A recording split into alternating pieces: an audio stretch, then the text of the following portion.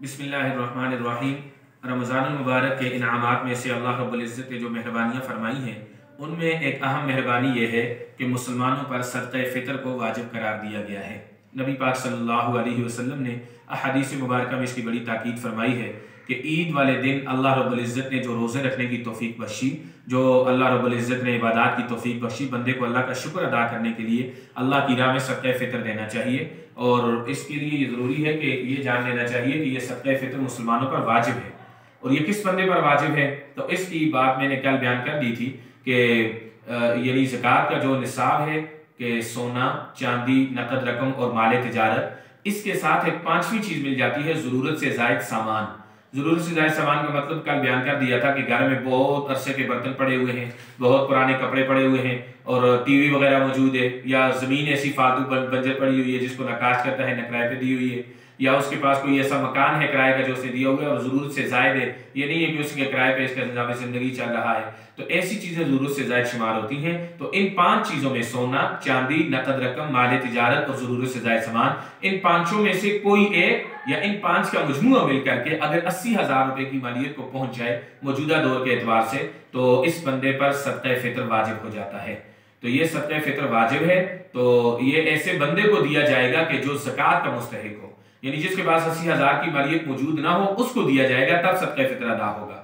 تو اس کے لیے بھی بہترین مصرف یہی ہے کہ اپنے رشتہ داروں میں دیکھ لیا جائے، بھائی بہنوں میں، قریبی رشتہ داروں میں، کہ وہ اگر غریب ہوں، ان کے پاس اسی ہزار روپے کی مالیت موجود نہ ہو، تو انہیں دیا جائے۔ اور مدارس دینیا کو بھی اس کار خیر میں یاد رکھا جائے کہ وہ بھی اس صدقہ فطر کا بہترین مصرف ہے۔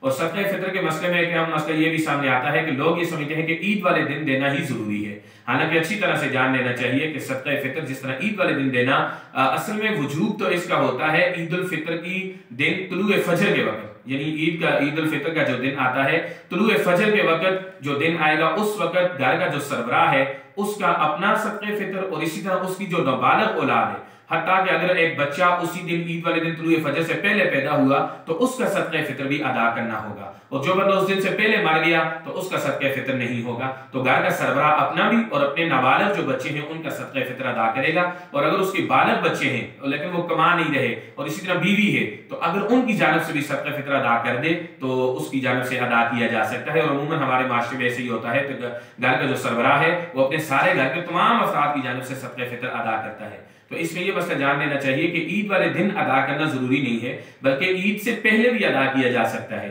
بلکہ عید سے پہلے اگر ادا کرے گا تو غریب لوگ اپنی عید کی تیاری کر سکیں گے۔ وہ عید کا کوئی کپڑا، کوئی بوٹ وغیرہ، کوئی چپل وغیرہ خرید سکیں گے، اپنی عید کی خوشی میں شریک ہو سکے شریک کیا جا سکے انہیں۔ تو عید الفطر کا انتظار کیے بغیر عید سے پہلے پہلے صدقہ فطر ادا کر لینا چاہیے تاکہ غریب لوگ عید کی خوشی میں شریک ہو سکے اور جو عید اس کا وقت جو ہے وہ عید الفطر کی نماز کے وقت تک ہے۔ لیکن اگر کوئی آدمی عید الفطر کی نماز تک اس کو ادا نہ کر سکے تو اس بندے سے یہ ساقت نہیں ہوتا بلکہ عید کی نماز کے بعد اگلے دن اس سے اگلے دن اس کے بعد بھی دیا جا سکتا ہے۔ دینے کے بغیر اس کی چارہ کار نہیں ہے اس کے اوپر واجب ہے ادا کرنا ہوگا۔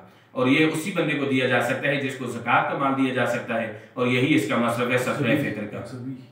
اور اس دفعہ ہمارے گڑی حبیب اللہ کے علماء اکرام نے مشاورت کے ساتھ اور گرد و نواح تحصیل والا کوٹ کے اندر اور اسی طرح دیگر بھی جگہوں کے اندر آسان حساب تو اس کا یہ ہے کہ پونے دو سے گندم کی قیمت لگا لی جائے۔ تو ہمارے علماء اکرام نے جو اتفاق رائے سے جو معاملہ طے کیا ہے، وہ یہ ہے کہ اس بار گندم کے حساب سے ایک سو بیس روپے ہیں۔ اور اگر کوئی آدمی کشمش یا کھجور یا جو کے اعتبار سے دینا چاہے تو وہ ساڑھے تین کلو کے اعتبار کریں گے۔ یعنی ساڑھے تین کلو کھجور، ساڑھے تین کلو کشمش، ساڑھے تین کلو جو کی قیمت لگا دی جائے۔ تو جو آدمی جتنا مالدار ہے، اس حساب سے ادا کرے۔ یہ گندم کے اعتبار سے اس بندے کے لیے ہے جس کی جتنی استطاعت ہے۔